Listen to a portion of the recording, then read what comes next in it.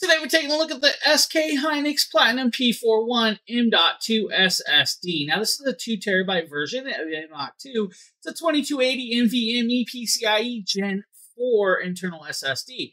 Now this SSD is going to actually do 7,000 megabytes of reading speed and 6,500 megabytes of writing speed. Now inside the package you're going to get this nice little carrying case. This little case is actually nicely well done to protect that SSD in shipping, which is beautifully uh, set up. I like that. When you pop it open, you're going to be greeted with the beautiful little M.2 right here. Now, this is, of course, a standard M.2 SSD Gen 4 right here. Uh, do not touch the gold pins on this side because that's what you're going to be sliding into your motherboard. Now, like I said, 7,000 megabytes of reading speed, 6,500 megabytes of writing speed. Should be lightning fast and great for, of course, transferring that data and pictures or anything else that you're doing. Now, this is a 176 layer NAND flash M.2 SSD, which should give you guys many, many hours of usage without issues on hand with this. Now, the next thing you're going to see with this, of course, SK Hynix Platinum P41 is change of views. We're going to pull out the PC case. We're going to show you guys how to insert this, and then we're going to do a speed test for you as well with that. So if you guys give me a second, we'll be right back in a different view. Okay, we now have, of course, a different view, and we have our computer case. This is the Phanteks Evolve X case right here. Now, we're going to have to take, of course, the glass door off, pull our nice little graphics card out. So we're going to actually have to do a couple screws and a couple pieces. First and foremost, we're literally going to pop off that front panel off of this PC just like that.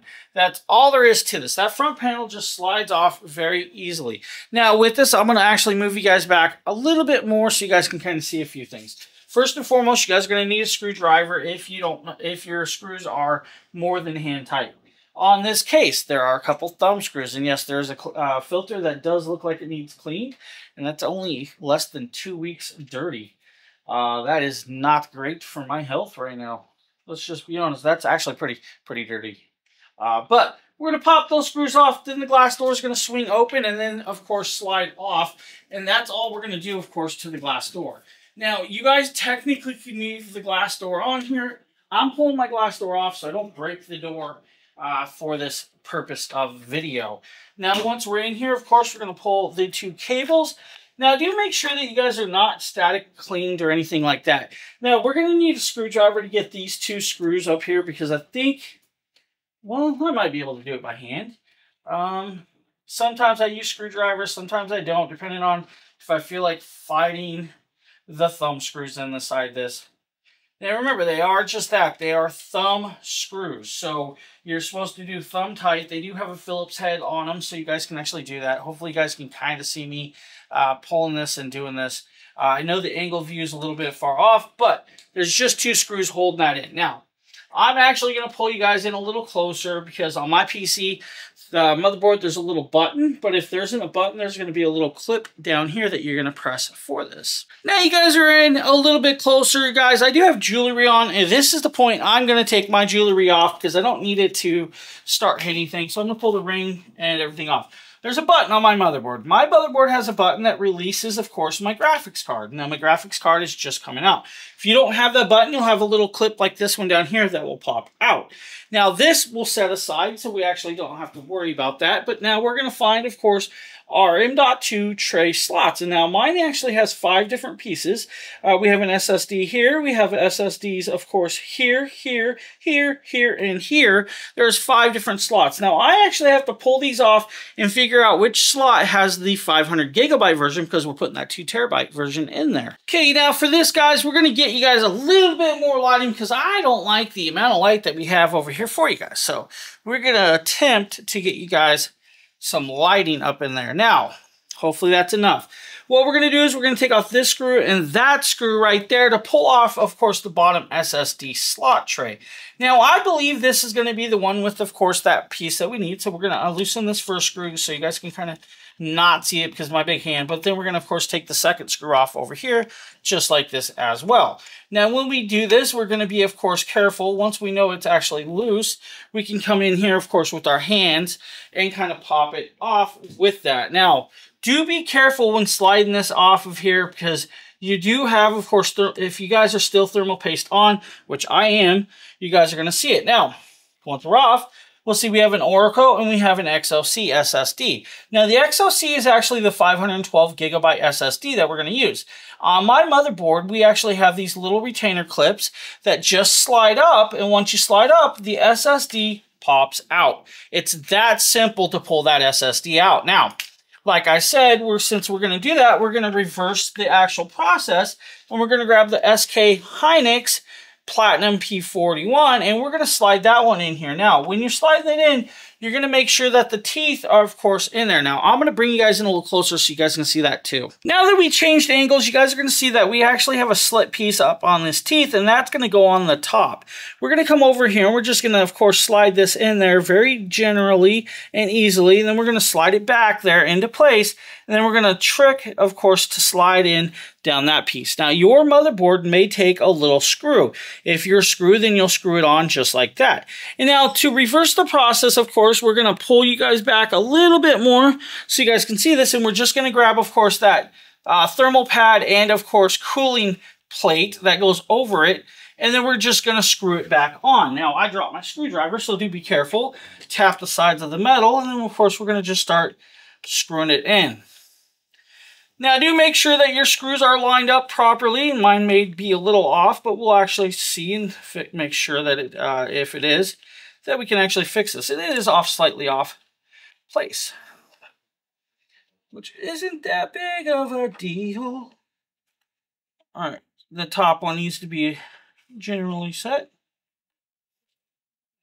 And of course, now the bottom one is in place, so we're going to actually screw that in there just like this. Remember, it doesn't have to be super tight, just hand snug.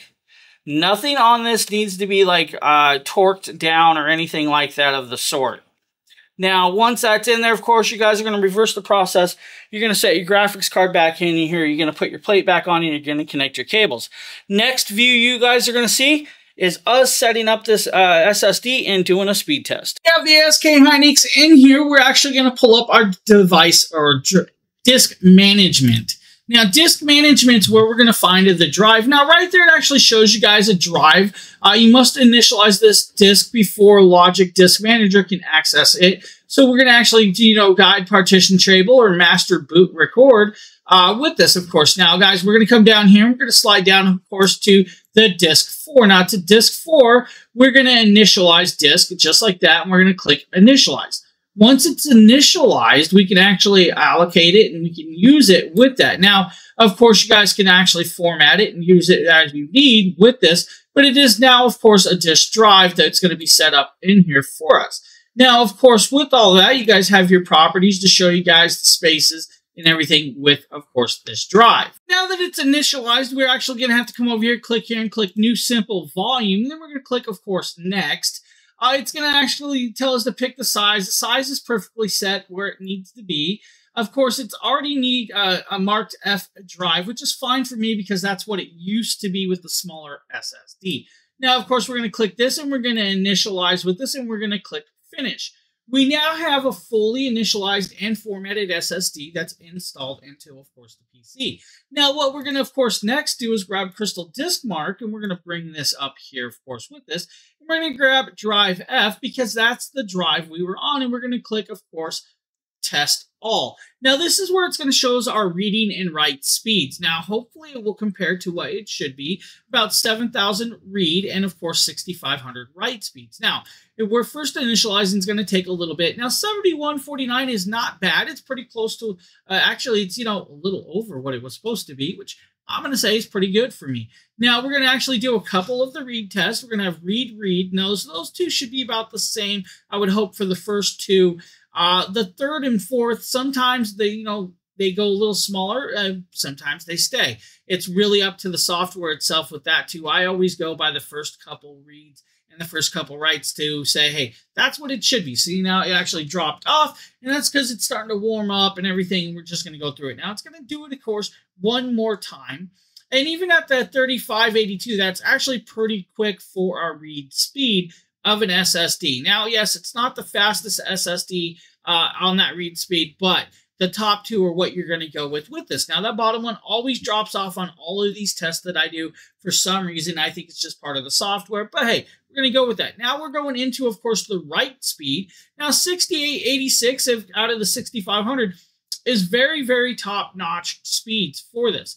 I'm going to say this is going to do very well. So if you guys need an SSD like this, of course, the SK Hynix Platinum P41 SSD is going to work out well for you if you are putting it in, let's say, your PC to your PS5s. You have that option with this. Now look at those writing speeds, still staying at 6821. You can't go wrong with that. I want to thank you guys for watching this. Hope you guys have a great one.